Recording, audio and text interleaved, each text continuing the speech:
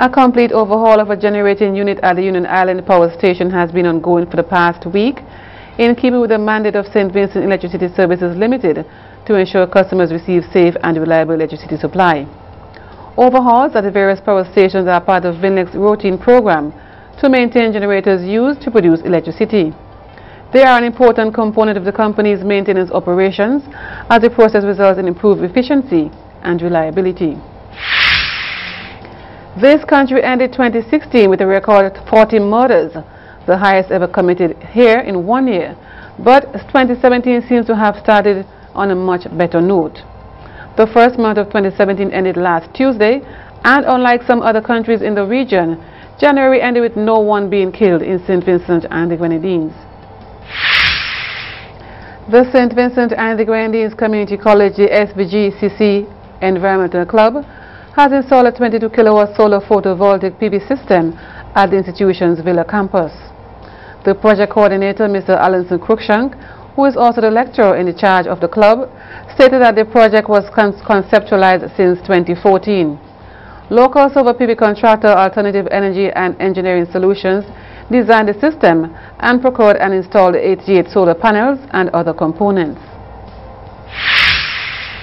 St. Vincent and the Grenadines joined the global community in observing World Wetlands Day yesterday, February 2nd. Cosmos MacLeod, forestry supervisor, said the annual observance was intended to highlight the importance of wetlands to the environment.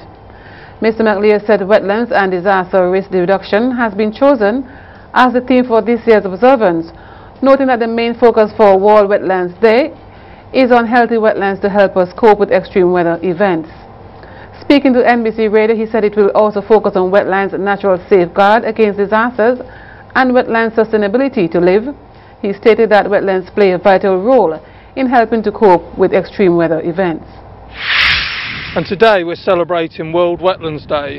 And wetlands are really important, not only locally to help prevent flooding, and these wetlands we've got at the park help protect the park from risks of flooding, but also in loads of other regions throughout the UK and around the world. And we've seen on the news over the last few months what a devastating effect flooding can have on communities.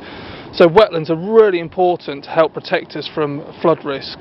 But they're also really good for wildlife.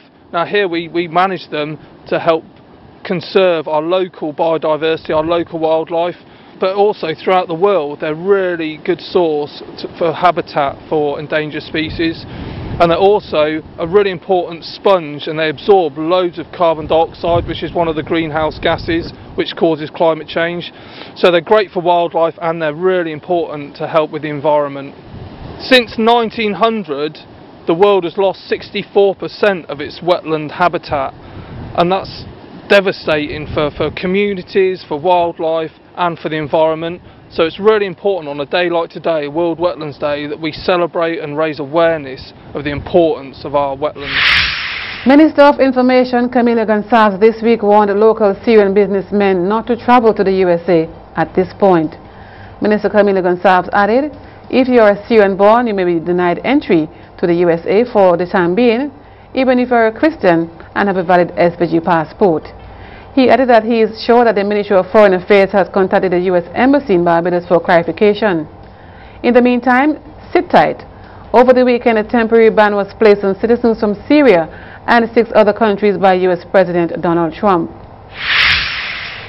A newly formed local organization is seeking to provide much-needed support to, victims of cancer in St. Vincent and the Grenadines. The theme of this year's World Cancer Day, We Can, I Can. This is the aim of SCORCH, surviving strong, courageous, optimistic, resilient, confident and hopeful, in spite of which was founded in 2014. Dr. Jodelle Miller, president of SCORCH, said the overall aim is to encourage cancer patients to feel empowered in the face of a life-threatening illness. Every year on February the 4th, the world comes together in the fight against cancer one of the leading causes of death in the 21st century.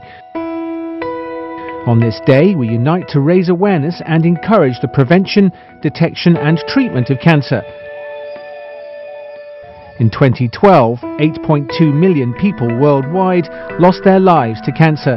That number is estimated to rise to 13.1 million by 2030. But together we can take actions to reduce that number.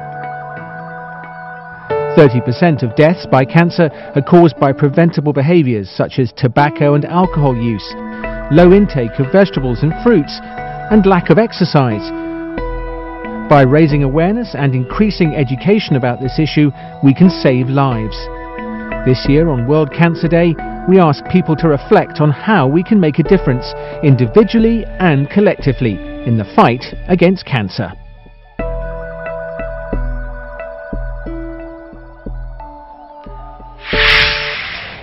Dr. Joselle Miller, president of SCORCH, stated that the organization helps persons to find an avenue to get support and not only emotionally but psychologically and also to get important referrals if they need overseas treatment as well as to provide financial aid.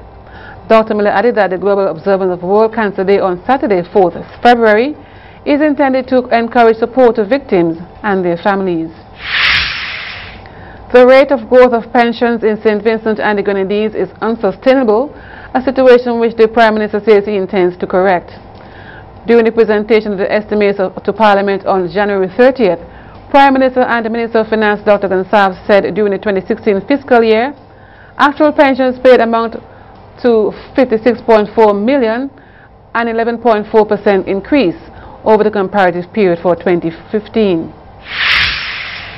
And two members of the staff of the St. Vincent and the Grenadines Community College, SVGCC, are presently working on closure arrangements following the death of three students on Sunday. A statement from the SVGCC said that Deputy Janelle Allen and lecturer Philon Hackshaw are in Barbados, working along with the parents of the deceased students, the SVGCC's partners at the Crane Hotel and Resort, the police and other officials. Stay with us, the sporting highlights are up next.